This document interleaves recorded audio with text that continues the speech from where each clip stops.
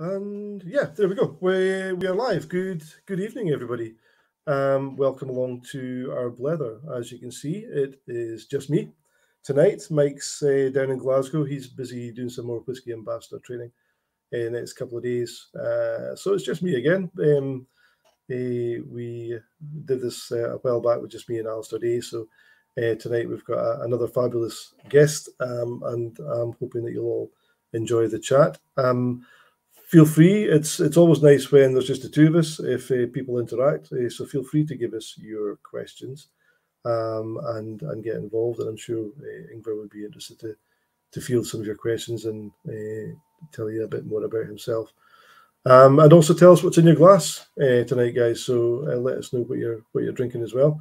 Um, for your information, I have poured myself um, a lovely little Cù Bòcan, which is a peated uh, tomatin, um, and one that I've uh, I've been really enjoying lately. So I thought I'd give that a go again tonight. Um, so without uh, further ado, you're obviously not here to to listen to me uh, blethering, so I will uh, get Ingvar in, and we will uh, find out how he is. And here we go. Good evening, sir. Hi, Russell.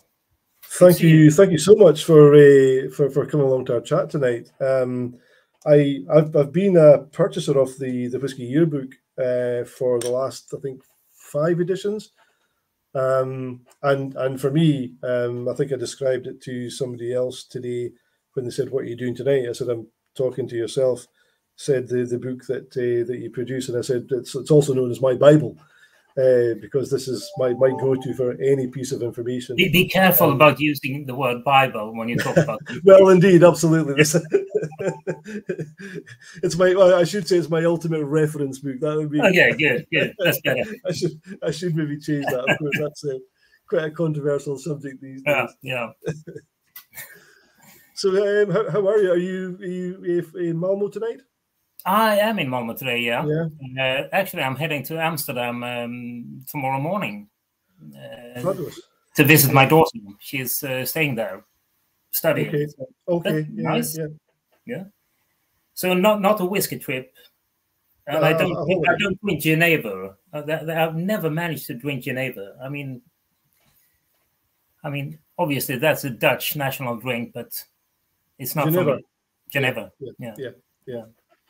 We, I mean, obviously the the, the precursor to gin, um, and, and uh, whenever we do a gin tasting, we always talk about the history with Geneva and then how it kind of translated into gin, and and the long kind of route that it took to the yeah, Scottish craft. Yeah, I, I did the mistake the last time I was in Amsterdam. I did the mistake of going into a liquor shop and um, they had lots of Genevas there, and the guy came up to me and said, "Do, do you know what Geneva is?" Yeah, it's uh, it's like uh, some kind of copy of gin, isn't it? And he almost threw me out. No, no, it started with Geneva, then gin. So okay, take it easy, take it easy. Yes, absolutely, absolutely. So, so where, where did it all begin for you with whiskey then? And I think the moment I, I got hooked on on malt whiskey, I probably I, I, I know I tried whiskies in my late uh, teens, probably Johnnie Walker Red or whatever was available. But uh, the first time was in summer of 1980. Uh, a friend and I we went to London and we took the train up to Inverness, uh, rented a car, and then we drove the Whiskey Trail, okay. which in fact was there at the time. Not that many distilleries. We went to Glenfiddich, uh, Glenlivet uh, Glenfarclas and Strathisla. So that was in July 1980. And um, 1980, yeah, yeah. 1980, yeah, yeah, a long time ago. Yes, yeah. So I, I, I was I was so hooked because not just because of the taste of the whiskey, but uh, also uh, the way it was made uh, and where it was made, Scotland uh, as a whole. I mean, th that intrigued me, and many times since then, I've been talking about why people are so fascinated about uh, Scotland. I mean, if you talk about spirits, we have cognac, of course. That's a great spirit. I love it. But who writes any books about that particular part of France called cognac? Oh, who makes films about it?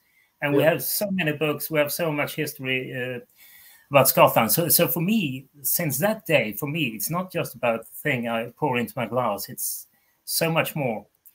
Uh, so that was when I my interest in, in malt whiskey started, and uh, work-wise, I did so many things for uh, 35 years or so, and then came a moment in I think it was 2004 when I realized uh, to keep up with everything that was happening in the whiskey world, I bought a lot of books, great books.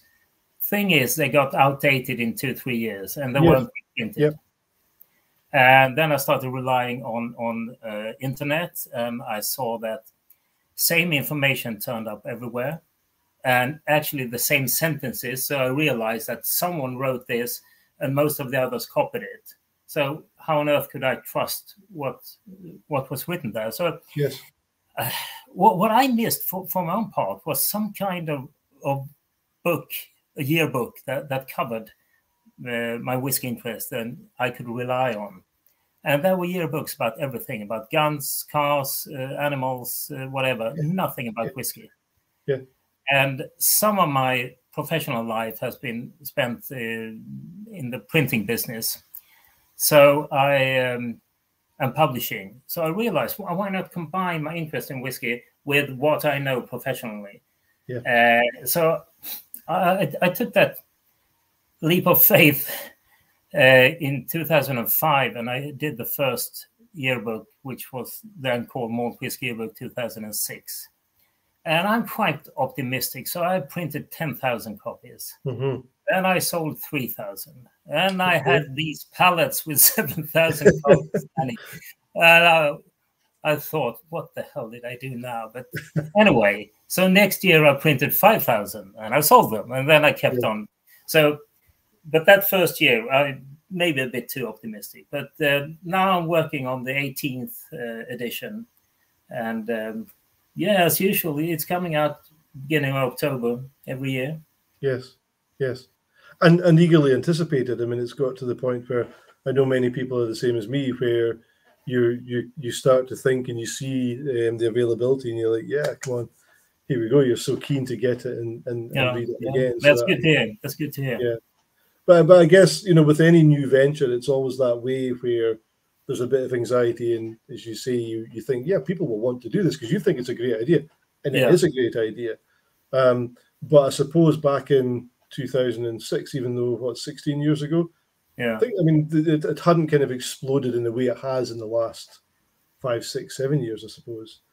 Um, yeah, and, and you're right. And a lot of people told me, friends told me, I mean, friends should be supportive, shouldn't they? But some of them told me, Ingvar, I mean, this is this whiskey, malt whiskey thing is just a fling. I mean, it, it will, it will uh, go away. It will fade away in a couple of years, and then some other other spirits take that place. And um, but it's not. I mean, it's still it's growing. It's growing every year.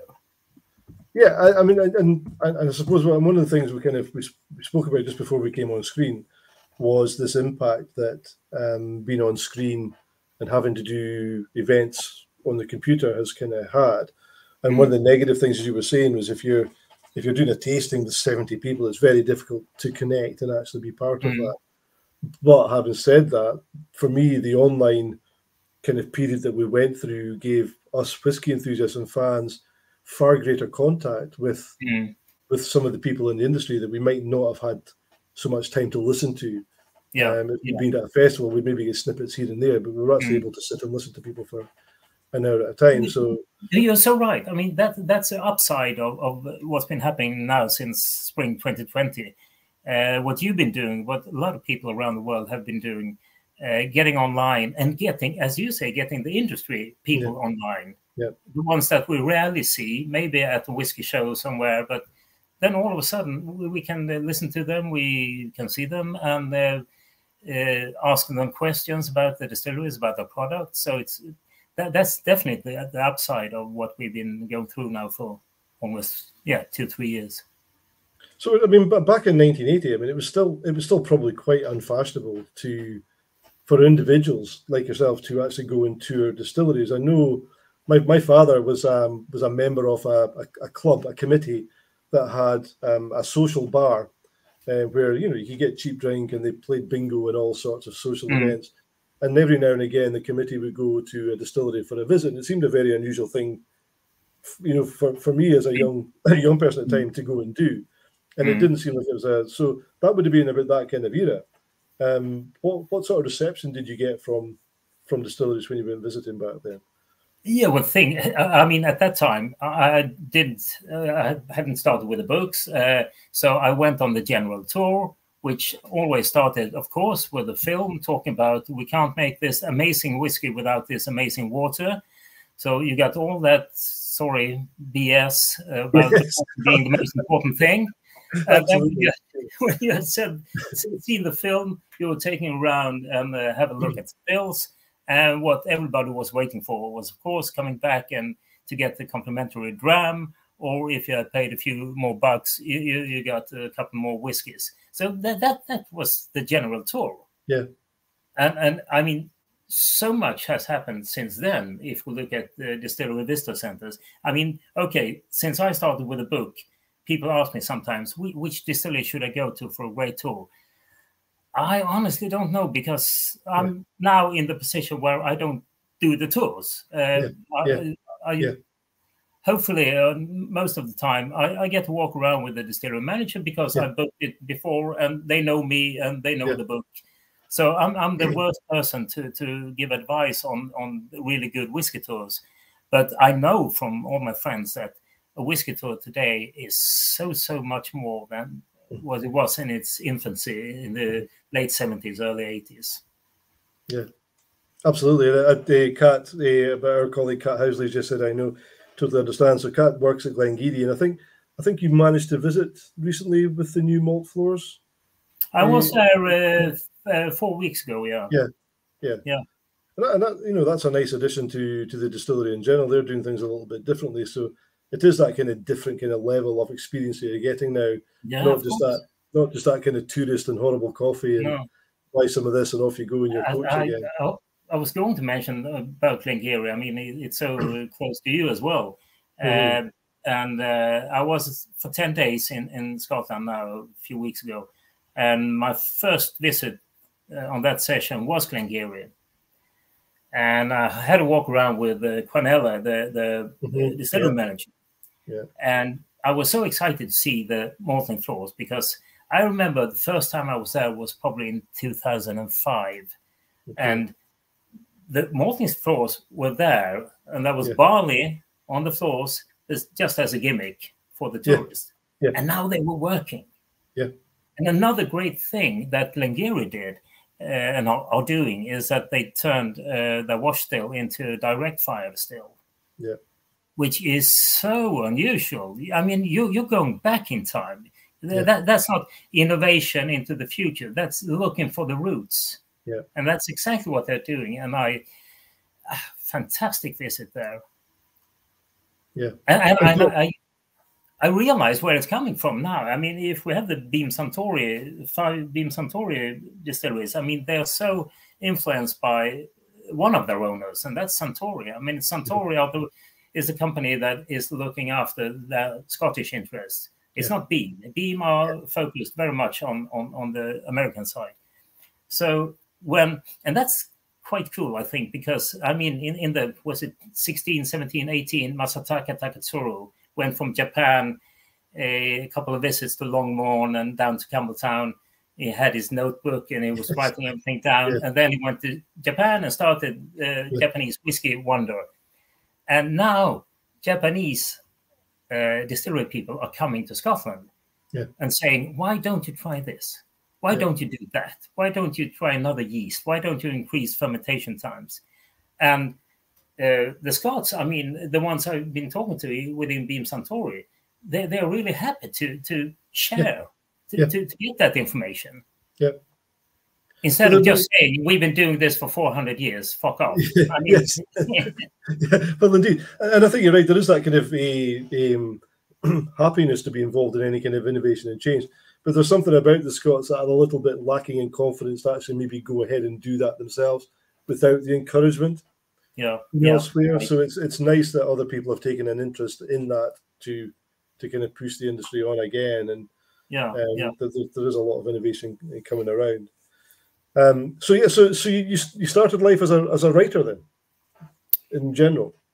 No, I, I, my life uh, as a full time writer. I mean that that started in two thousand and four or five mm. with the yearbook.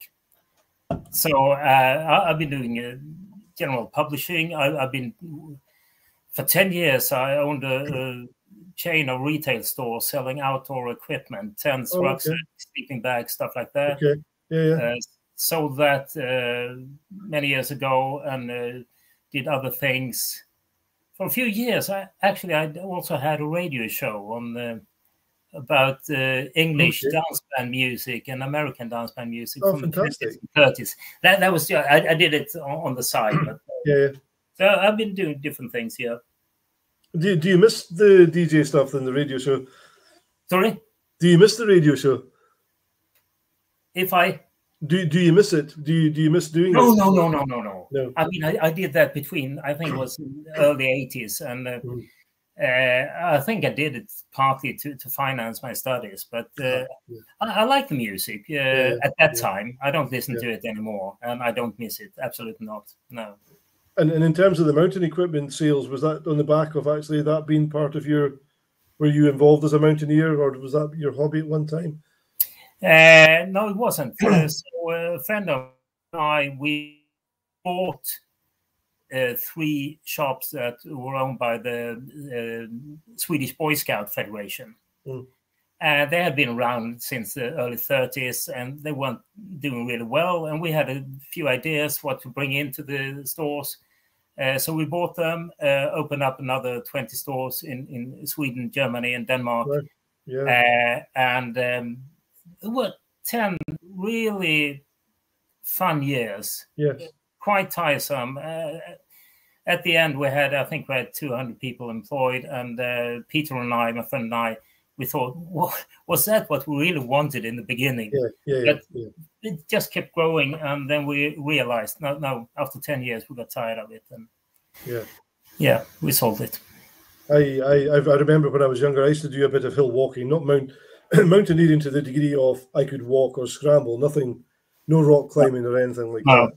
No. Um, but the, the Munros in Scotland, and obviously, you know, a very difficult and dangerous terrain, so you had to know what you were doing, and you had to have some decent kit to make sure you were safe. How um, many Munros have you done? Uh, probably less than fifty. I, I hadn't. I've never. I never went to the extent of actually going to them all. I used to go back and visit the ones I liked, mainly yeah. around about Aberdeenshire. Yeah. Um, yeah. I didn't I didn't tend to travel very far away to, to no. go and find. Um, but I was aware of one or two people who were starting businesses in some of the small villages mm. in Deeside, and how much how much I was envious of the fact that they were doing that. They were going away and choosing this and choosing that and creating bits of kit. But yeah. then I saw how hard it was. They were they were literally never they were never away from their work, and I thought, okay, you know, it, it, must it must stop being fun after a while when you get so busy with it and get so yeah, involved. Yeah. Um, I suppose that's the same as anything. Yeah. No, I, I quite like what I've been doing now for uh, close to twenty years. Um, yeah. Being a writer, uh, writing about the stuff I love, going on travels, meeting with people. I mean, it's been perfect. Yeah. Yeah. Yeah. Yeah. Uh, Phil's got a good question there. Um, just we were talking uh, earlier on about this this upward trend um, in the whiskey industry. Phil's just asking, do you, do you think the popularity of whiskey is sustainable? Do you think that, do you feel that that trend is going to continue?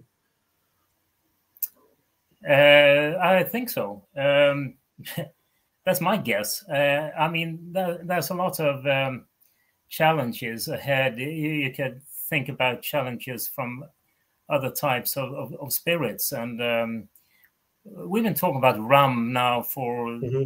seven, eight years. And that would be, I mean, the closest to, if you're a whiskey drinker, the, the leap over to rum isn't that yeah. big, uh, as opposed to if you want to drink tequila or mezcal.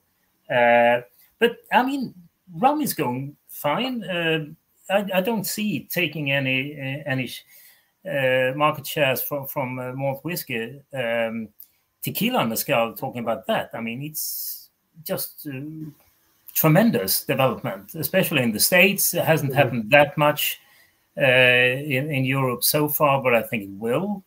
Uh, we saw 10 years ago when gin started exploding. I thought that that would have been a gin fatigue um, a few years ago, but now it's still growing. Yeah, it, it's hard for us to know. I mean, you, you you've obviously you're, you're you're able to see the bigger picture in the more international picture. Living and working in Scotland, sometimes you get very insular and forget about the wider market out there. Mm. Um, and from from my point of view, well, there was a customer in the shop today who probably would have been in his maybe late 20s, early 30s, new to whiskey, fascinated by it, wanting to know much more about it. So he's going to become a regular customer because we had a fantastic conversation today. He's looking forward to coming back. And there are so many people like that around just now. So mm. my feeling in Scotland is there's there's many more Scots or, or people from the UK that are getting more and more into it, in, into, mm. into, into Scotch whiskey. Mm. Um, I guess from a from a bigger picture across the across the planet, then there are other spirits that people will be more engaged with. Um, there are other spirits, and uh, I mean there are also other trends that could influence the interest mm-hmm. in, in malt whiskey, and that's uh, that's a new generation of uh, people not drinking alcohol. Mm-hmm. Yeah. And that would influence not, of course, not only that would influence the entire business. Yeah. Uh, I mentioned my daughter when we were talking earlier. Yeah. Uh, she's 25, and uh, she and a lot of her friends, I mean, they don't drink that much alcohol. Yeah. Not not the way I used to do yeah. at her age. So so that that could be. at the same time, it feels a bit silly to call it a threat I mean, because it's we're talking about people who choose a healthier lifestyle. So that shouldn't be a threat. But but in terms of, of the, how the spirits business and the alcohol business uh, is looking for the future, I mean that that could be a threat. Absolutely. Yeah, yeah, yeah, absolutely. But then whiskey is more not just about about drinking. Lots of people buy it to collect it. They buy it to invest in it. Um, yeah. and, and that, that seems to be a trend that's that's growing as well. It's, it's mm. getting very hard to get your hands on some of these releases. Springbank's a classic example mm. uh, where everybody wants wants a piece of it, and I don't I don't believe that the majority of those are actually buying those bottles to to open and drink. No. Yeah. Uh, uh, what you're touching upon now, Russell, is one of my I was going to say favorite topics to talk about, but it's probably one of my hate topics yeah, to talk about yeah. because I, I'm I'm so not into collecting, investing, yeah. flipping, selling on. I I think absolutely that it's it's so bad in the long run for for uh, for the whiskey business. I mean, I'm not talking about the the bottlings that Macallan uh, are doing for for rich uh, Chinese uh, business people. I mean, that's fine. They were never intended for the likes of us.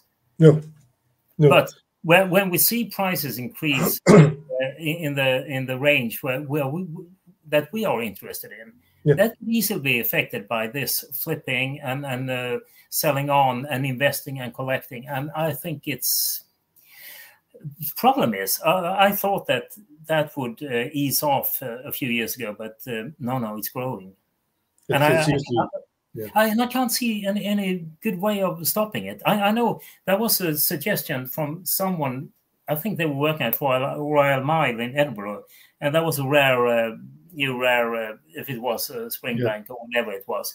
And people suggested when they come in to buy it, tell them that yes, you can buy it, but just wait a second. I'll just rip off the seal, yes. then you can buy it. Yeah, yeah. that would yeah. be amazing. You yeah, absolutely. Or if, if you bought it online, you had to agree to have your name written on the on, yeah. on the bottle as well. Which yeah, yeah I, I, absolutely fantastic. Yeah. And and you're right. I mean, things like you, you I think the Daft Mill was the one that got me. A hundred pounds R, RRP, and then within a couple of weeks, four hundred pounds on auction. You're like, that's yeah. that's crazy. That's absolutely yeah. crazy. Um, uh, but yeah, no, it, it's also a pet hate of ours. But listen, before we go any further, I've, I've, just realised I haven't actually even asked you before we go into controversial subjects, and maybe something that you might need something to help soothe your nerves. And what, what's in your glass tonight? What uh, what have you poured for yourself tonight? Today I poured um, ten-year-old peated Glenturret. Oh, nice. Yeah, Yeah. Sometimes. So we're both on a bit of peat. I'm on the peated uh, tomatin.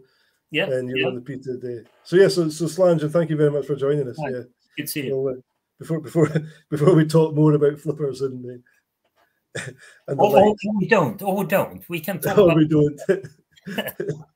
Well, there's one of the things whenever I do tastings and and they, you know, people being people, things like politics suddenly just kind of creep in a little bit, or people will talk about their favorite football team or rugby team, and it's always no, no, we don't. there is no room for politics or sport in whiskey tastings. We talk about whiskey and family and dogs and what have you, but not, yeah because the thing is well, when i do I, do 15 or 20 tastings here in sweden uh, every year and when i start talking about uh, my feelings about collecting and and, and flipping uh, there will always be 15 or 20 percent in the audience who are collectors who are flippers yeah, so yeah, I, I yeah. and I, I don't mind. I mean, I don't mind annoying people, but you, you you're there to have a nice evening for two hours tasting whiskey, and then I start talking about this, this will be the death of, of uh, single malt whiskey as we know it, and then we could have a nicer evening than talking about that. Absolutely. I mean, I mean, the way the way I look at it and the way I've always felt about it is, if a particular whiskey or a particular bottle is going to attract that interest, then I'm not interested in it because there are so many other bottles out there Yes, easily accessible and Yeah. fantastic to drink. So you just move your attention somewhere else, go and buy the bottle you can afford that Yeah. not everybody's chasing. Because there is so much out there, it's fantastic. and, and that you're, you're touching upon something really important now because I, I think that has been enhanced by social media. This mm. FOMO, fear of missing out. yep, yep, you will see that there's a new bottling from Springbank. You realize there are only 175. And it's presented on social media, on Facebook, on Instagram, and everybody is talking about it. Mm. and you don't want to be that one person who didn't get it. Yeah. Even, though you know that uh, 95% of the people who are interested won't be able to buy it, yeah, you don't want want to be the loser. Yeah. So instead, they should do exactly what you're saying, Russell. Okay, let's think about it. If I miss out on that Springbank, that will this year there will probably be 2,000 new single malt whiskies I can choose from. Yeah. So why don't you relax? Because that, I mean, for your own uh, health, it's not good having that feeling every time you turn on Facebook. Oh, they bought that, and sometimes it happens in Sweden. They, they take a photo of, of the receipt from the Yeah. shop uh, just to show you how much they spent on it. And yeah. Why would you do that? Why would you do that? But it's Yeah. that, as you say, it's that, it's that kind of social media. It's that need to show and tell people what you're doing, and Mm. um, yeah, absolutely, absolutely. And if if you, if you miss out on the new Springbank, latest Springbank, I suggest you you turn towards Ardnamurchan. Mhm. I should predict something, so I predict that Ardnamurchan will be the new Springbank in terms of quality. Yeah. I think so. I mean, it, it, it certainly it certainly started off as one of the newer, very collectible whiskies. Um, Yeah, and yeah. The, the the early bottlings, but then it was all dependent on batch size. The bigger the batch, the less collectible it's going to be because more people are going to have it. So there's not that Hmm. rarity. And I think if if uh, producers can can try and do that more often, make their batches bigger sizes, then we don't need to worry Yeah. about that that happening. And and the flippers aren't going to be attracted to that because No, no. And no if, if especially if you're looking towards something in the same style as something you're missing out on, for me at least, Ardnamurchan could be a nice uh, replacement for uh, somewhat young Springbank. Perhaps it's the same style. It's the same style. I, I recognize something there. I, I bought my first casks at Springbank in the late 1990s together with a couple of friends, and we had five Yeah. casks there, and we, we bottled them uh, after a while, and they were quite young. Uh, the first ones we bottled, I remember exactly that taste. It Mhm. reminds me of what we see from Ardnamurchan now. It, it's definitely one of the. I mean, that was one of the questions I wanted to ask you tonight, actually, because I I, I totally agree with with Ardnamurchan in terms of quality. Um, but we've got a good handful of new distilleries um, that have sprung Oh, up in the last, gosh, even last three or four years, but you know, certainly in the last ten years. Mm. Apart from Ardnamurchan, are, are there other ones that kind of stand out to you, or have you got an opinion on on what some of these newer distilleries are actually delivering in terms of quality? I, I think there are a few. I mean, we need, we need to remember that most of these ones are quite young. Uh, not yeah. everyone did like Francis Cuthbert and, and waited and waited and waited until he released Daftmill, but yeah. but he, yeah. he, he could do it. That was his thing, and Daftmill was good. Uh, I'm I'm impressed with uh. Yeah, I think they are doing some great stuff. That's, that's my second dram tonight. that's, my, that's my second dram tonight. Yeah, it's a fantastic. Okay. Yeah, it's yeah because I think what what they're doing with. Um, very exciting recipe for the maturation. Yeah. Mixing uh, new Chinkapin oak, uh, old rye casks, uh, yeah. Bordeaux casks, and they get the recipe right. I think. Yeah, yeah, and uh, you know, Al- Alistair is, is a fantastic. Uh, you'll, you'll have met and spoken to Alistair plenty of times, I'm sure. Uh, very engaging chap, and he just he seems to know exactly what he's wanting to do.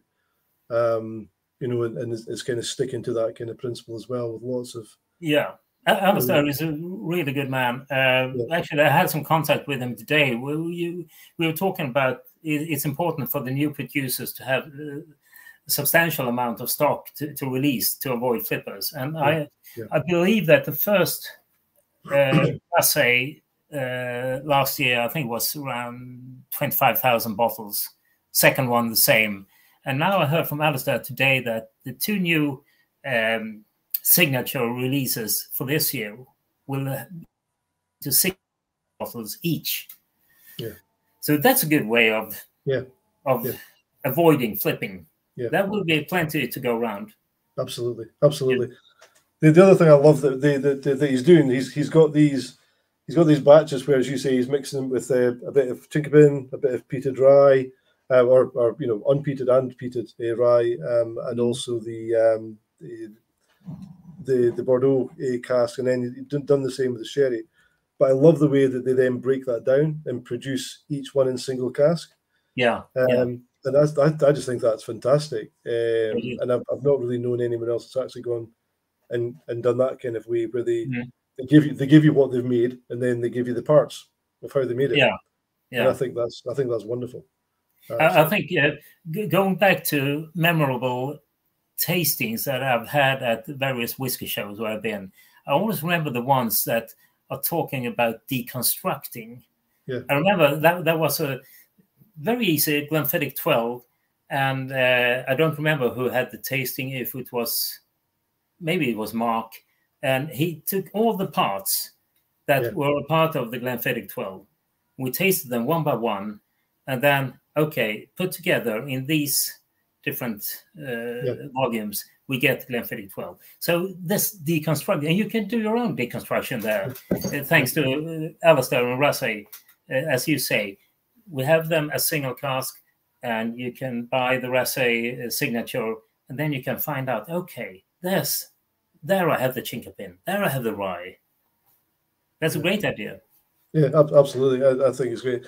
And and uh, you know, I, I don't know if you've had a chance to go to Raasay. Have, have you been up the distillery yet? Have you had a chance to go? I've been there. Yeah, yeah. yeah it's I mean, it's a wonderful place to go. The ferry crossing is just.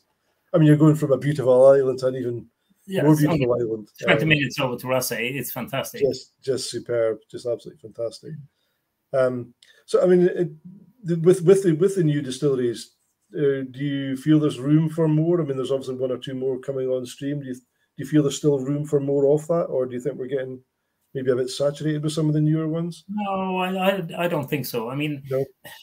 uh, uh, uh the ones that are opening up now, you will have the really small ones producing maybe 50, 60,000 liters a year. Uh, you will have a handful of big ones. I mean, uh, um, Ardross, for instance, I think they have a capacity of 1.5 million liters. In Inchdairnie, of course, is big. Uh, but those two, I mean, uh, they are thinking about releasing some single malts, but they have other plans to, to be part of a blend. So there are different companies. Uh, I, I, think there will be uh, room enough because they are not huge, the, these new distilleries. The problem will be for them to sell it. And not that people don't want it, but the distribution, that, that's a key word. Uh, because if you go to uh, your own shop, I mean, you have certain amount of shelf meters. Yeah. yeah. And you can't, if anyone comes up to you, okay, we have a new distillery, we have a new release here. Okay, mm-hmm. so where should you put it? Yeah. You have to pick, take something out to put something in. Yeah. So, and in that sense, I think what has been emphasized now during COVID is uh, e-commerce. I mean that you, you can sell bottles uh, very easily in, in, many countries, at least, uh, online, and uh, that takes the heat off. A, physical retailer, and when I say take the heat I don't. Do you do you do um, online sales as well? We, we, we do do online sales, but again, um, most of what we sell online is is in the shop. A, apart yeah. from a lot of the limited releases, they tend to they tend to they, they don't get to hit the shelf. And no. we we we got to say so the way the way that we kind of dealt with this sort of demand or the we deal with the demand is that we we make sure that our regular customers, and by that we mean that we have customers who we have got a trail that they have used our shop for a period of time to make yeah. some, some decent sales. Now I, will come back to that because it, it, needs to be decent sales, you know, proper customers, um, and then we we give them an opportunity to enter a ballot, and then it's just you know it's, mm. it's luck of the draw after that. Yeah. When, when we when we first introduced that uh, system, we we just stipulated that you needed to be a customer of the shop, and there needed to be a record of that. And pe- people were actually buying a bottle of beer online or or a miniature just to prove that they'd had a purchase history. So, Cheeky so we, we, had, we had to kind of change that to make it, um, you know, come on, guys, we're looking at trying People to will always find a way, you know. They know, will always find a way. I know. Um, but yeah, I know, and, and that, what what happens with with the shops like ours is the, uh, other people just accuse you of making sure that you you've got all your mates sorted out and and such like, and we we don't do that. We genuinely have a fair opportunity at getting bottles, mm. but you know, not for just people who turn up and suddenly decide that they're going to be our best friend. We've never met them before in our life. We would yeah. like to have had some kind of relationship with people mm. before mm. Uh, before we want that to happen.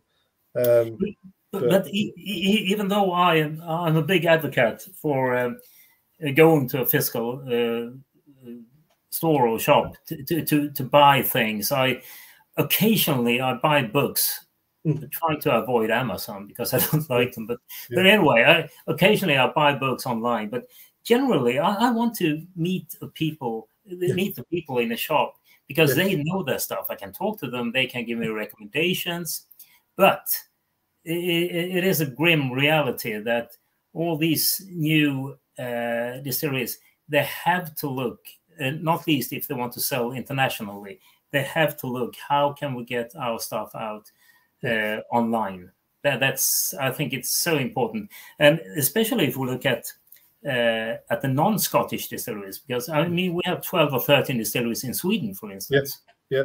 yeah uh, six seven of them have released uh, the products and it's fine because uh, you, you can sell it in sweden and we should of course be supportive which is not always the case but we should be proud of our own distilleries but at the same time, there comes there comes a time when they want to sell it internationally, and they have to compete all of a sudden with Scotch yes. that has been produced yeah. for centuries. They have to compete with with uh, American whiskies, with Japanese whiskies, Irish whiskies, yeah. and it's a whole new ball game because nobody knows anything in the wide world about Swedish whiskey except except for us geeks. We know it because we want to follow it. Yeah. Yeah. Um, so, and people sometimes ask me because I come from Sweden, what about Scandinavian whiskies? Will they stand a chance? Yeah, quality wise, absolutely. Yeah, absolutely. They uh, don't have a reputation yet. Yeah, yeah. High, High Coast, Mackmyra are both are two that I've sampled lots of and yeah, very, really very good. good. But as you say, but pe people would people say to me in the shop, and I'm I'm I'm happy to try anything from everywhere. Um, I don't have a problem at all. But people say to me, "Do you buy whiskies from other countries?" And I'm the only reason I say no is because I don't have a budget or, or the time because no. there's still so much scotch that I, yeah. that I haven't yeah. had a chance to try yet. So before mm. I get around that, you know, I'm, I'm not saying I'm anti-English whiskey or anti any other whiskey. I just don't have time to, No. to involve that in my life. So Yeah. it's not that I wouldn't; it's just that I, I don't have the capacity. And then sometimes you, you will have people they, they will buy a Swedish whiskey once just to have tried it, or Yeah. they want to show it off to the to, to the mates and see look what I have. Quite exotic, isn't it? But I mean, to survive, you need repeat sales. You Yes. need to buy it the second time, the third Yeah. time. You've got to develop a following. You have to have a following and a, and a fan base, if you like. Yeah, yeah, yeah. I mean, talking about fan bases, it's one of the things that we often talk about in terms of distilleries. I mean, there, I, I, I was thinking about this again the other day, and I thought I had five, but I've probably only got four distilleries. I think that I probably would buy anything that they made because I just love the distilleries. Mm. Are, are there a handful of distilleries in in well in anywhere in the world, not just Scotland, that you would you would always say if if if if, if you had money in your pocket and you were into a shop, yeah, I'm going to get that because I know I always like that. Are are there some distilleries that you will always buy things from? yeah. Um, probably a couple. I I usually there is one distillery that I always trusted and relied on, and that's that's uh, Glenmorangie. Mm-hmm. Uh, because their 10 year old original is always a couple of bottles at home.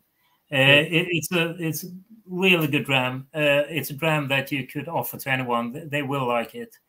And then I uh, enjoy their uh, older ones, 18. I don't know if the 25 year old is still around. I don't know. But and then of course you have three really good wo- wood finishes: uh, Lasanta, Nectador, and, and um, what, what's the port version?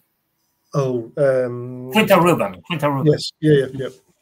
Uh, really well made. And uh, then every year you have some odd things coming out, uh, special releases. So Glenmorangie is a, a distillery I trust very much. Uh, and I, I was quite not surprised because that's the thing that Bill Lumsden would do, but they released the X by Glenmorangie, uh, which is a, you could say, to be brutal, a simpler version of the 10 year old, and it's cheaper. And it's just, it's intended for, for long drinks and for cocktails. Yeah.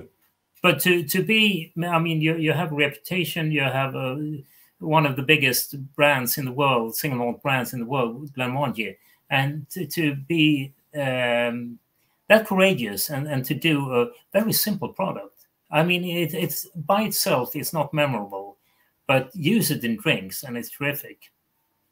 But I, I, I mean, I guess it's, it's only the bigger companies that can actually, as you say, be be that kind of brave to do that.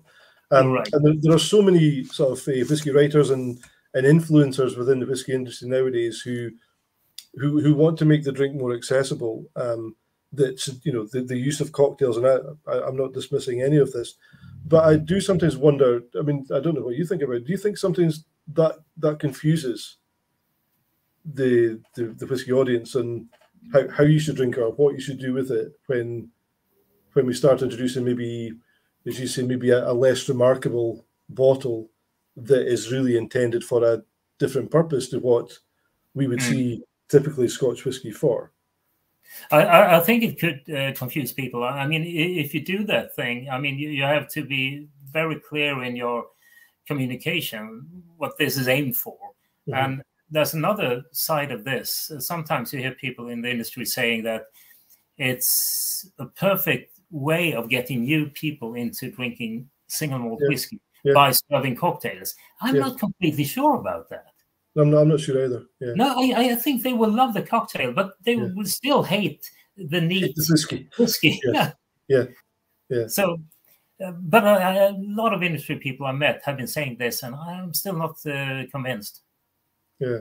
It's it's great that you use you can use uh, uh, not not maybe the most expensive single malt, but that you can use single malts and cocktails. I love uh, whiskey cocktails, but I don't think you will um, transform a, a whiskey hater into a whiskey lover by serving them whiskey cocktails. And I, and I guess you wonder why they're doing that. I mean, I'm I'm aware that Di- Diageo in particular, we spoke at the start of the show um, about my, my trip into Strathmill uh, not that long ago, and just spoke to some of the warehouse staff, and I was made aware that a lot, a lot, some well, not a lot, but a handful of the Diageo distilleries just now are, are just making gin Mm. um, because they're not. There is no there's no need for them. They don't have a, the need to actually be, be producing whiskey just now. Mm. They can do any time they want, but yeah. they've got the distilleries that are kind of sitting silent again. Um, and you wonder why, you wonder why they feel the need to push people into a kind of weaker brand of a whiskey to make a cocktail rather than just introduce gin, which um, mm. would be as effective or maybe maybe even more effective. I don't know. Mm. I, I, think that uh, I mean you're right. Strathmill they've been making gin now for I think two years or so. Mm. Uh, Glen Spey, the same yeah. there. Uh, yeah, yeah. Even though I, I think Glen Spey, no, I'm not sure about it, but uh, Glen Spey is so small that I'm not even sure they, they're going to continue making gin there. I mean, it's always been a very small, obscure distillery. Yeah. I mean, okay, yeah. Oban and Lochnagar, they're smaller, but they are brands. Glen Spey yes. was never a brand. Yes. yes. I mean, Glen Spey is wonderful. I mean, I, I love Glen Spey because you the, the amount of times that you could have driven through Rothes and never known it was there. yeah, and then right. one, and then one day you look and you go, oh, gosh, there's a distillery there. I, I missed it again. That's right. yeah, you're right. Um, but yeah, it's it's it's uh, it's it's interesting. But, um, oh, okay, I, I, I mentioned Glenmorangie. Uh, love that distillery. Uh, my absolute go-to distillery. Um, wherever I see a bottle in any bar, unless it's too bloody expensive, I will order it, and that's Clynelish. But I'm not. I'm. Yeah. I'm not alone. I'm not alone. I know that. Yeah, yeah. so many people adoring Clynelish. Yeah. Yeah, absolutely absolutely. So, uh, what what about the the the Brora coming back on the scene again then? Yeah, I mean, it will be. I, I, I was there uh, three weeks ago, and I had a walk around Brora, and they've done a tremendous job uh, resurrecting the distillery. And I mean, they put so much money into it. It was a beautiful distillery. Mm. Uh, and I went up to the worm tubs. I had this nice look out to the North Sea, and it was amazing. Uh, we'll we'll see in three, four, five, ten years from now what the new Brora is. I mean, the ones that are available now, most of us can't afford. Uh, it's yeah. even tricky to afford a, a, tour around Brora. I think it's either three hundred pounds or six hundred pounds. But uh, right. uh, well, it's I, I don't blame Diageo. I mean, it's it's their yeah. choice to make it more exclusive. And you, yeah. if you don't want to spend that money on it, walk over the road yeah, to find walk away. That's right. No, yeah. no, but yeah, I wouldn't. I did say that, but go over Clynelish, have a walk around yeah. Clynelish. Uh, won't cost you very much. Go up to the bar. Uh, there they have some whiskey cocktails you can order and have yes. the same fantastic view uh, out to the North Sea. Uh, so Brora, we'll see about Port Ellen when that opens uh, in a year or two. Uh, we'll see about Rosebank. That will be exciting. Yes. What yes. the new Rosebanks will be absolutely, absolutely. I mean, when talking about sort of uh, Brora and Clynelish and getting whiskey cocktails in Clynelish, they do a little bit of that at Cardhu as well. Uh, Johnnie and Ginger and that kind of thing. Um, mm-hmm. Have you been to the new uh, centre in Edinburgh, the Johnnie Walker experience? Yeah, I was there in November and um, mm-hmm. I booked a tour. Um, I think there were three or four different tours. I, I, booked the one where you go down to the bonded warehouse in the cellar and you get to try five different grams, and okay. you're probably a group of 12 people, and you have to make some kind of unanimous decision which ones we like the most. And, okay. and by that, they would then produce a very unique blend because they have 12 recipes from 12 uh, master blenders, the Diageo master blenders. So, okay, you like that one, you like that one, and so and so. This looks like this blend that we're now going to produce for you. And so, so they have the cask and they draw samples from the cask and they make this blend according to what that particular master blender decided. And then we get to try that as the sixth or seventh round. Mm-hmm. So it was quite fascinating, quite uh, educational. Mm-hmm. Mm-hmm. And I got to try my first uh, Teaninich uh, rye. Okay, okay. How was it?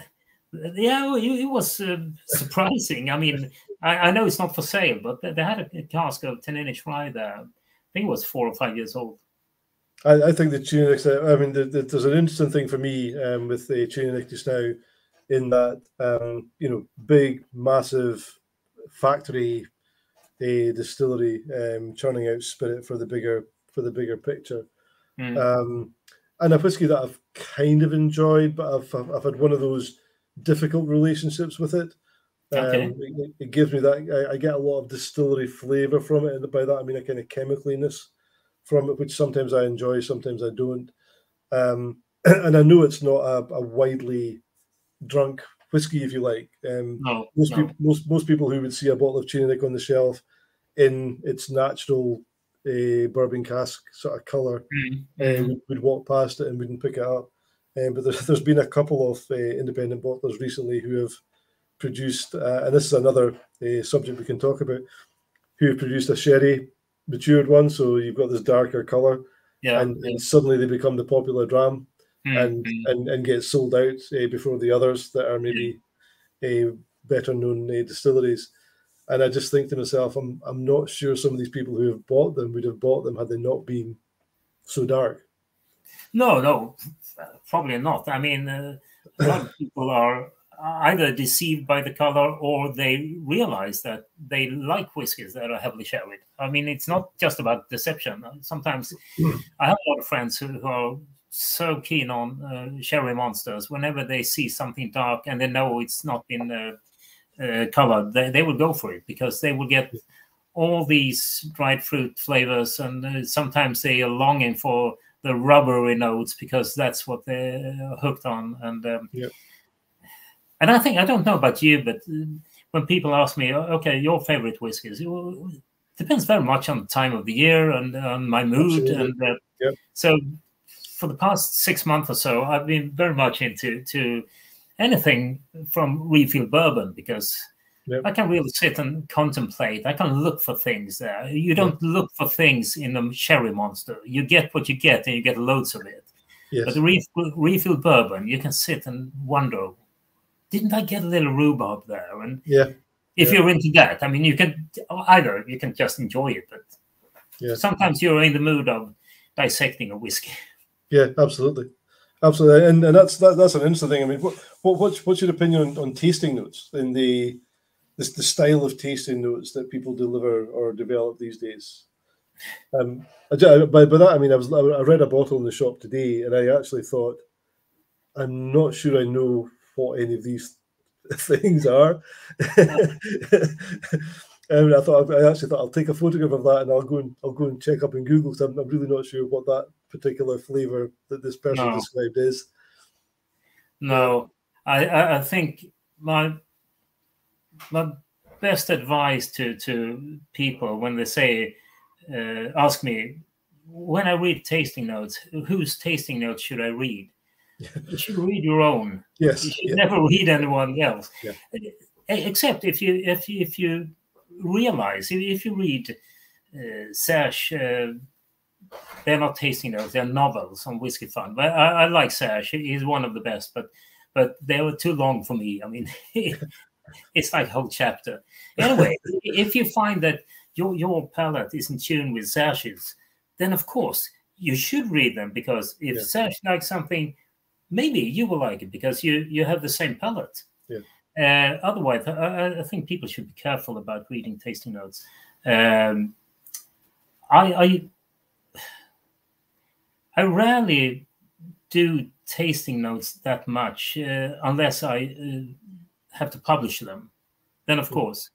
Um, to be honest, I apart from the Malt Whiskey book, I do every year one or two books uh, for the Swedish market, and there are plenty of tasting notes in them.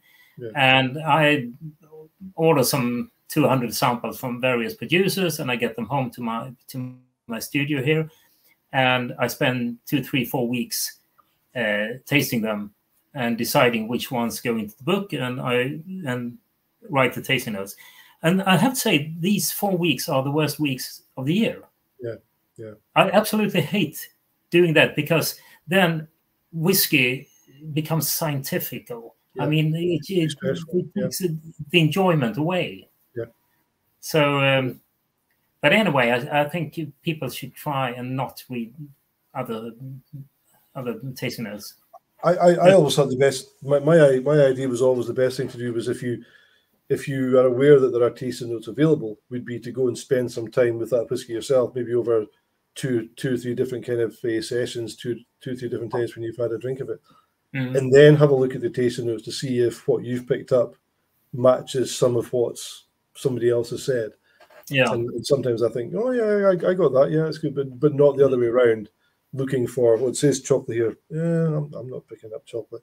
You know, no. I, I, always find that quite desponding if you do it that way around and you don't pick up what it says on, the, mm-hmm. on the bottle. So the the other way around is the way I always like to do it. There, there, there is another way of, of doing tasting notes that I think is superior to, to the to the written ones, and uh, I, I know David Wishart, he did it probably 20 years ago in one of his books. I think there are a few others who have tried it. I've tried it in my Swedish books, where you decide on uh, having five or six or seven circles uh, that you fill out in accordance to how peated is. It. Mm. So peat, uh, fruitiness, uh, green grassy, complexity, uh, different stuff. And you can uh, you can make small dots. If you have three dots on a peated it's medium peated or you could do circle uh, circles or whatever. I think that's more objective. Yeah. And uh, it's more useful to, to, most whiskey drinkers it will yeah. give you a hint on, on, what you will be buying yeah absolutely yeah to, totally agree um, I mean, out, out with whiskey, um, I, I, I, did read somewhere that you obviously you're a keen historian um, as well.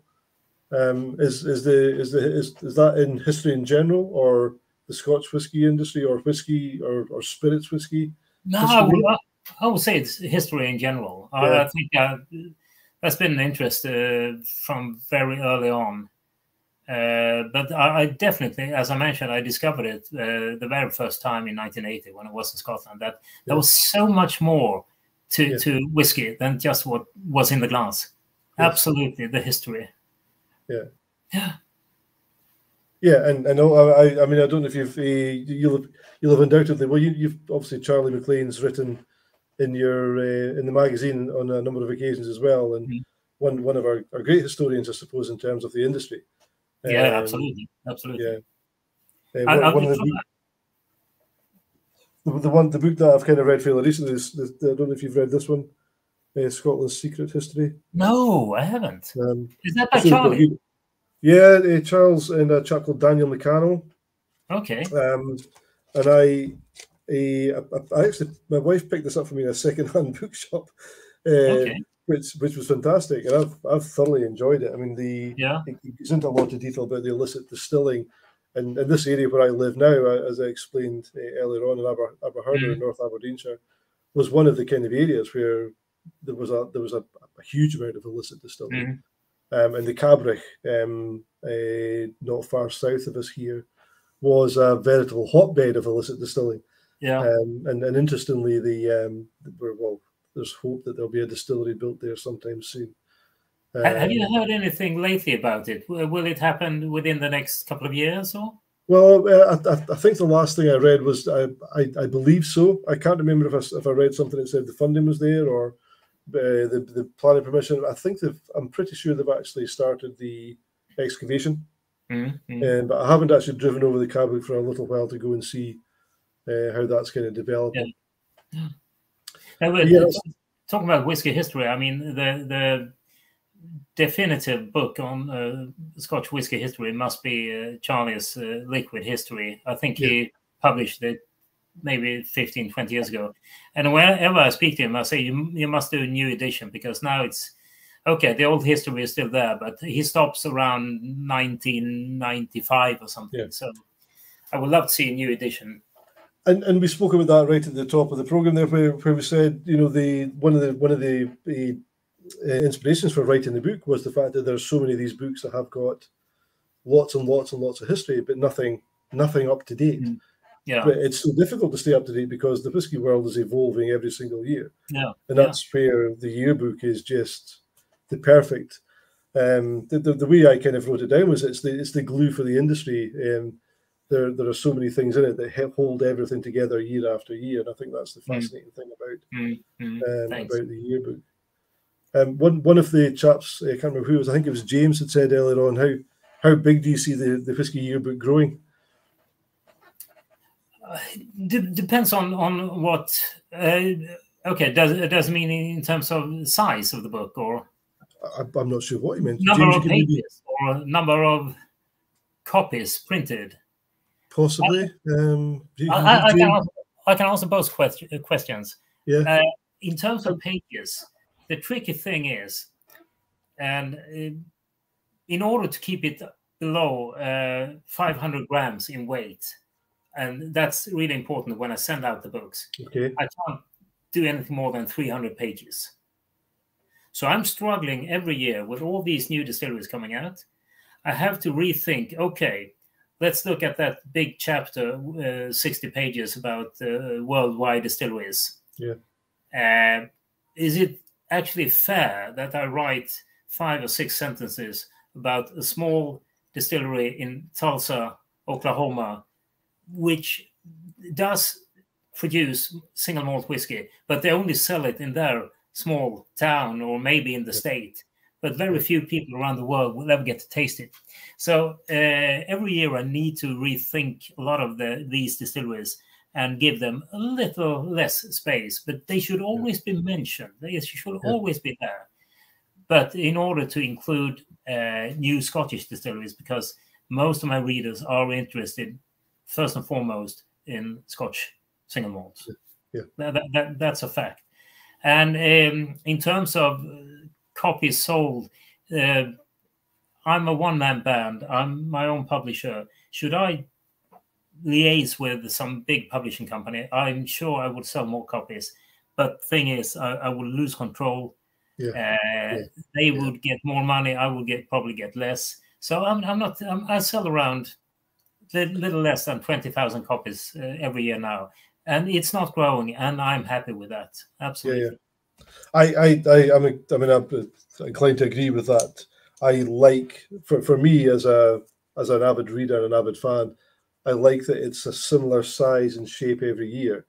And I know that there will be some bits of information in here that are similar in terms of the distillery, you know, the location and all that kind of stuff. But I like to know that that's there and it's slightly more updated.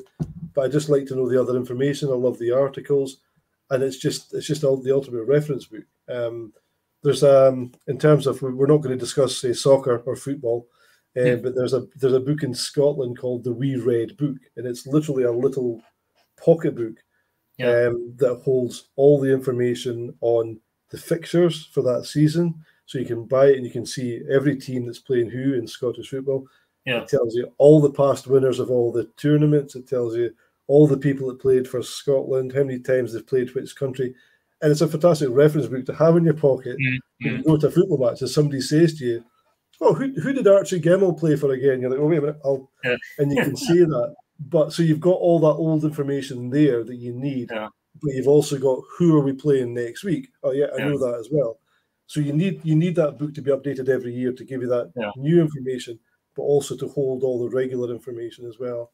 And it, it, it sounds like it sounds like a book I should get a hold of I mean, I love all these geeky books about with all the details, and there's a new one next year. You can make small notes in it because you know there will be a new one next year. Yeah, yeah, yeah.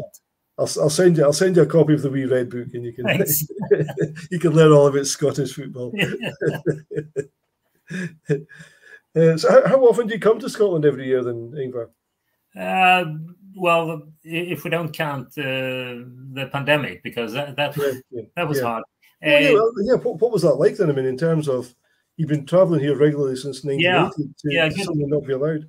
Yeah, good question. I mean, um, uh, I think my last trip before the pandemic to Scotland was in November 2019. And then my next trip was in November last year. So for two years, uh, yeah. it was impossible for me to, to travel there. And. I, I, I, still I still get information because I keep in contact with all the yeah. distillery managers and other people, and I, I phone them, I send emails. But what, what I really missed was the inspiration I get from from coming there. Yeah. I, I I noticed that really strongly when I went to to um, Speyside in in uh, November last year and I remember the first distillery we came to was uh, Balmenach. I hadn't been there for three, four, five years, and I stepped out and I heard the sound and I felt the smell of the mashing in. Um, I got close to the stills. I felt the heat from the stills and the lovely smell from the warehouse and from the mm. fermentation, from the washbacks. And I had missed it so much. I almost got tears in my eyes. But then I realized yeah. what, what, I had been missing because I had to walk around with uh, Kevin McPherson, uh, the distillery manager. And we had a great tour there, uh, just the two of us. And what I had missed most of all was the people, mm. chatting with the people uh, about whiskey and everything. Uh, so I, for two years, I missed that kind of inspiration. I managed to do two editions of the Malt Whiskey book, and I hope they weren't worse than the other ones. But no, not at all. I've got them both, and I've read, I read them all. yeah, yeah, but it, yeah. It, it, was trickier to do it because yeah. um, I wasn't, I wasn't that inspired as I usually am when I have the chance to, to go to Scotland. And I mostly go to Scotland. I, I, know people think I've been to every distillery in the world. Of course not. I couldn't afford it, and I don't have the time. yeah, I, have been to the Scandinavian ones. I've been to Kavalan a few times. I've been to mm. India, uh, but otherwise, for the other distilleries, I have to rely on keeping in touch with the people without being there physically. But that also goes back to first of all, my main interest is in Scotch whiskey, and for most of the readers, that's their interest as well. So I tend to go back to Scotland ever so often. Yeah. Yeah. And there, there was a time in 2007 when I could say I had been walking around every malt distillery in Scotland. But that was in 2007. Yes. Then a lot of things happened, many yeah. new distilleries. So I, I think there are 134 working malt distilleries in Scotland now, and I'm still missing uh, five or six that I haven't been to. Okay, so yeah. some of the some of the newer ones. Yeah, one of them is quite old, and that's Abhainn Dearg on, on Lewis. Okay. Yeah, I mean, they, they, opened in 2008, but yeah. my travels never took me out on Lewis. Yeah.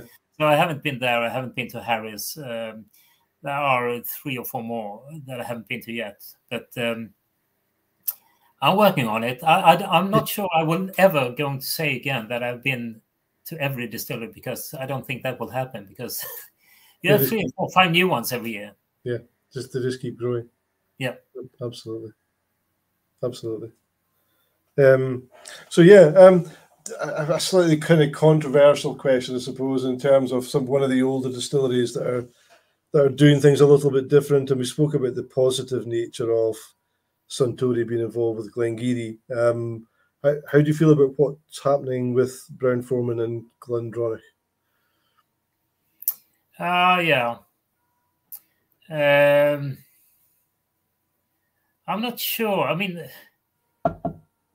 uh, first of all, I, am I'm not. I'm not trying to be um, uh, say anything too negative about Brown Forman, but I'm I'm not surprised. I mean, it's a big American company, mm-hmm. uh, mainly known for Jack Daniels and a lot of other products. And I realized that they wanted to. They, they used to be in, involved in the Scotch whiskey industry. I think they had a piece of Glenmorangie for a while, but that was two, three decades ago, and it was clear that they wanted to to come in to the Scotch whisky business again with uh, with um, Benriach, Glendronach, and Glenglassaugh. I, I, think they should be really careful about a solid brand like Glendronach because I know when I mean when Billy Walker bought them one by one, uh, Benriach was nothing. That that tremendous whiskey, but it wasn't a brand. Glenglassaugh definitely wasn't a brand. But the one in the middle that they bought, Glendronach, that was a brand with huge yeah. following, not huge, but a solid following. Yeah. And um, to you should really be careful when you tamper with the recipe and and, and the so no, I'm a bit surprised there, in a way. Yeah. Yeah. I'm even more surprised that they haven't sold off Glenglassaugh yet. Yeah, that, that is a surprise. And my, my understanding was that Billy Billy would have quite liked to have kept it. I think when uh, when when when he was looking or when when the offer came in for the distilleries, but Brown, Brown Forman wanted them all. And Yeah, given he- that He wanted to keep it. I, I yeah, that. that's my understanding. Um, and my my you know my, my knowledge of Glen Glenglassaugh, which is just up the road from me here, it's one of my favourite distilleries for for all sorts of reasons. I used to take my children when they were young camping um, up. There's a campsite beside the beach, right beside the distillery. Yeah. So I was always aware it was there. I, I, I, it took me many years after camping there that I actually tasted the whiskey. Um, um, but uh, it's very much the ugly duckling that's hanging on by a by a fingernail to life. Um, Yeah. and you, you just you just want somebody to come in with with individual funding. You know, almost one one group of people to come in and look after it and and, Yeah. and manage it as one as one kind of entity. Because Uh, obviously you, you like the whiskey as much as I do. The Oh, whiskey God, it's- it's a it's good whiskey. I love it. Yeah, Yeah, yeah. but I, I don't see it fit into the to, Yeah. to the trio of distilleries that Brown Forman uh, are working with. So I, I- I thought they would have sold it uh, a couple of years ago, but uh, they're still hanging on to it. I, I keep putting my lottery ticket on any every week in the hope that I maybe win several several millions. I can go in there. Yeah, there's Um, very little. There's very little production going on there. I mean, it's It- just for it, it stopped again during um, during the COVID lockdown. It started again, I think last summer for a period of time, but I think it's pretty much stop start just now. yeah. Um, I, I mean, there is a desire to to get it going again, I think, but there, there's no visitor centre there just now. Um, No. It's hoped that that'll kind of come up again.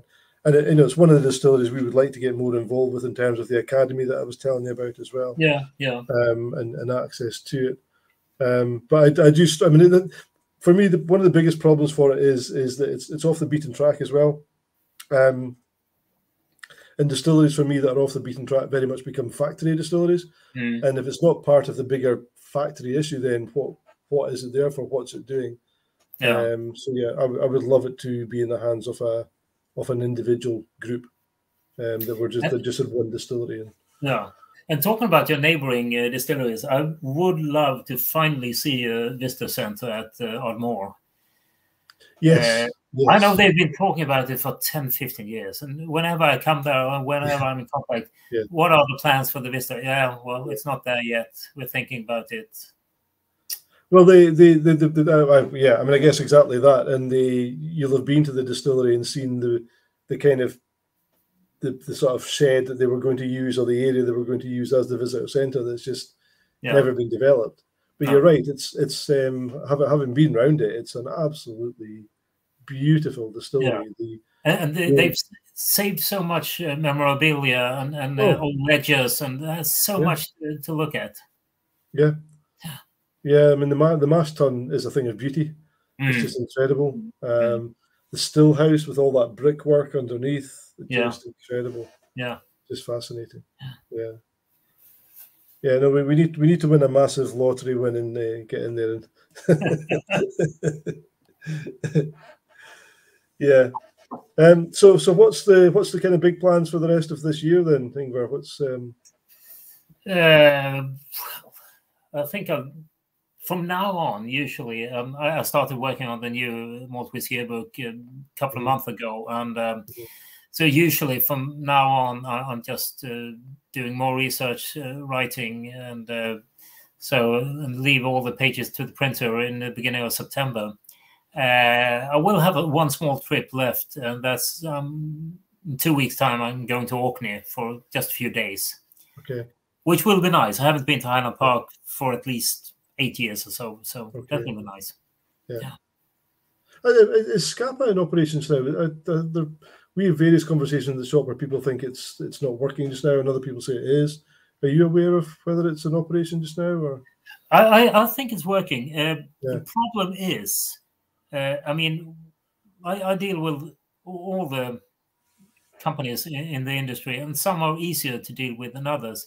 Uh, and Chivas, I, I mean, they're, they're good people, and they've invited me. Or when I want to come to a distillery, they're always very courteous and say, "Absolutely, you, Yeah. you'll as usual, you have a walk around with the distillery manager." And uh, but there are some questions you shouldn't ask. You shouldn't Yes. ask about Uh, you can ask about capacity, no problem, but don't ask about production, uh, the real production for that year. They won't reveal that. Yeah. So they are a bit more secretive on certain things than other companies are. So I haven't heard. Uh, uh I'll, I'll, check now when I'm up at Highland Park. I mean, Yeah, that's yeah. easy. You just have a walk down and and to to Scapa and see what's happening. Uh, Again, it's one of these whiskies that have that's got a very loyal fan base. People Yeah. people absolutely love Scapa, and whenever we get it in the shop, it tends to sell it fairly quickly because it's oh, you've got some Scapa, fantastic. Mm. I mean, just the standard, you know, the Skiren and the Arcadian, you know, just the standard kind of bottles, but it's Yeah. it's, Yeah. it's not something you see a lot of in in uh, in shops. On the odd occasion, it'll turn up in a supermarket, but uh, very rare these days. Did, did you like or do you like the peated one, Glansa? I never tasted that one. I didn't get to try that one. That's Yeah. not Scapa to me. Mm-hmm. Scapa to me shouldn't be peated, but uh, Yeah. okay. Yeah, I know people who love them. I so, so some of these distilleries that have got a bit more of a kind of saline flavour. So Pulteney um, for me, and probably Scapa as well. That so the Huddart from Pulteney, Mm, um, I don't find as enjoyable as the as the normal Pulteney because it no. the peat the peat to me kind of gets a little bit confused for me with the salinity. Mm, Um, and I mm. love I love that saltiness of Pulteney. Um, Yeah. So maybe the same maybe the same would have been the case for the because because interestingly the the I love Glenglassaugh but I'm not so keen on the Torfa. Um, again the peated version, and I, I wondered if, if if my palate gets confused with Mm. the peatiness and the saltiness. Um, But so could, could it also be, uh, I see what you mean, and could it also be that it would be smarter to do a standalone brand? Like, I mean, you're enjoying Cù Bòcan now. Yeah, And yeah. Is Cù Bòcan. Yeah. Tomatin is Tomatin. Yeah. So they're two different brands. So they Yeah. have cleverly conducted it that way. So they're two Yeah. different. Uh, answer that yeah, that's a peated scalp. I shouldn't be and Huddart, as you mentioned. yeah, Uh, I think Tomintoul they have done a good thing about having Old Bell and that's a different brand. Different- different brand. Tomintoul here. different brand. Yeah, Yeah. absolutely. Yeah, yeah. You, you just you just put a shiver down my spine because one of one of my favorite distilleries is Glencadam. Um, I, I love I love Glencadam. I love everything that they produce. Um, Yeah. And as far as I'm aware, there is not a peated Glencadam, and I'm just thought, oh my god, I hope they never ever do one because I, I just don't think that would work. Um, and it, you just you just give me a horrible fear and imagine the fear of something. I, no, I, I share your sentiment there. I mean, I Yeah. love Cadam, and they, they have a huge range. I mean, uh, yes. Yeah. five, six, seven different uh, styles. But uh, no, please don't do Peter. yes, absolutely. I agree with you. You stand outside the gates, no peat. Oh, no, but it's so delicate. It's so refreshing in its own way. They shouldn't tamper Yeah. with. it. And and and as you're saying, that the perfect drink for this time of year. Yeah, absolutely wonderful drink for this time of year. Just fabulous. yeah, yeah, yeah, absolutely. It's a summer whiskey. In, indeed, it is. Yeah, absolutely. Yeah. Yeah. Um, so what, what what else do you do when you're not um, involved with whiskey and, and, and writing and, and working? What would you do for a bit? Well, I mean, it's it's hard, isn't it? Because yeah, some people say to me, "What do you do in your days off?" And I tend to think, "Well, maybe I'll go and visit that distillery, or maybe maybe I'll go and this part of the process." You find yourself lured back into it. But are, are there other aspects of life that you spend a bit of Yeah, time in? uh, that you enjoy? I- I try to spend some time on um, on bird watching.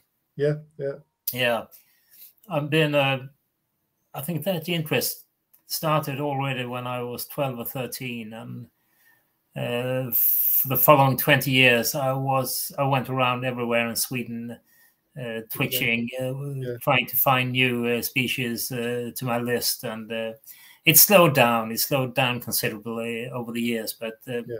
I, still, I still enjoy getting out in, in, into the wild and. Um, out to the coast. We're very near to the coast, and uh, Yeah. have a walk there three, four, five hours. I have my binoculars with me and um, do some bird watching. Yeah, yeah. It's fascinating. And I guess you you must get quite a lot of migratory birds there as well, and similar to yeah, to what we do. Yeah, yeah, uh, absolutely, and uh, especially in the autumn uh, for the winter migration, uh, we have a great.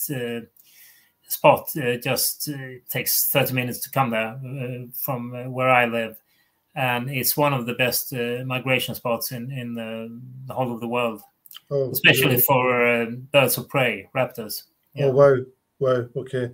Yeah. And, and and to me, they're they're the most fascinating of birds, I think, for from my point of view. Yeah, absolutely yeah. phenomenal. Me too. Yeah. The, the other ones I love, of course, are the the swifts and the swallows. I'm fairly certain I saw my first swallow today when I was. Well, I thought it was a swift rather than a swallow, uh, but my wife thinks that she saw a swallow recently, so maybe I was wrong. But it seemed to be a, little bit sharper uh, and more angular, so I, I think it was a swift. But uh, I was driving to work this morning and I, Yeah. I got that kind of skip in my heart, thinking, "Oh, here we go, they've arrived." Well, that's mean, that's a good sign. It's a Yeah, sign of summer yeah. coming. I mean, so if it was a Swift, and I'm sure it was, it Yeah. probably was one of the first ones. Yeah. I haven't So- seen a Swift here yet, but um, you're more to the south. Yeah. I think.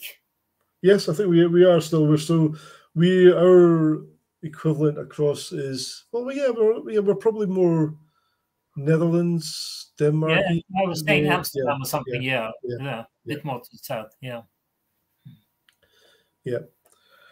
Well, well um, listen Ingvar thank you so much for joining us tonight that's been absolutely fascinating um and Thank you we, we we must get a chance to meet up with you sometime um sometime when you're in Scotland if you if you've got time I'm sure your agenda is always very busy uh, No, no, no. I, I always try to, to have a couple of days when I can just take it easy, and meet up with Yeah. people, not not just going to the distilleries. So absolutely, I would love yeah, that. absolutely. And uh, please, I mean, hap- happy to have to come come visit us in Aberchirder, and we can go for a wander up in the up in the Moray Coast and I would love that. Yeah, that would be absolutely fantastic. Um, And if, if you have any plans to go to Sweden, sorry. if you have any plans to go to Sweden, you know you're Well, welcome. I've never been, so I would I would love to go. I would absolutely love to go. Um, so Yeah. yes, I'll, uh, I'll I'll certainly reciprocate for for sure. Absolutely. Yeah, um, good, good. for, for sure. Um, I'll, I'll get to hold on just uh, shortly once we, but we'll, we'll we'll end off live. I'll say cheerio to the guys. Um, so, uh, chaps, th- thanks very much for joining us again tonight. Um, I hope you've enjoyed uh, our conversation. I certainly have. Um, I feel we could talk with Ingvar for for a very long time, and hopefully we'll maybe get uh, get him back on again sometime soon. We uh, we do often say to people we need a part two, sometimes maybe even a part three. Um, and I know that Mike um, is very busy tonight. He's having a, a, rather nice dinner in Glasgow as part of the course, so um, he won't be missing us too much. But he does like to meet people on the on the chat, so he'll be desperate to to get on the chat next time and, and have a conversation with you. Um, so we'll definitely get you back on uh, at some point. Um, next week is the we've got Greg Schwartz. Uh, we've got Greg Schwartz who um, from LA. Greg Schwartz of the Water of Life uh, film, and I think they're busy making another film about independent bottlers. So we'll catch up with Greg and find out where they are with that. Um, usual time again, guys, seven o'clock. Um, so thanks once more, and uh, hopefully we'll see you then. Uh, in the meantime, good night from uh, from both of us. Cheers, Cheers, guys. everyone. Yeah, bye bye.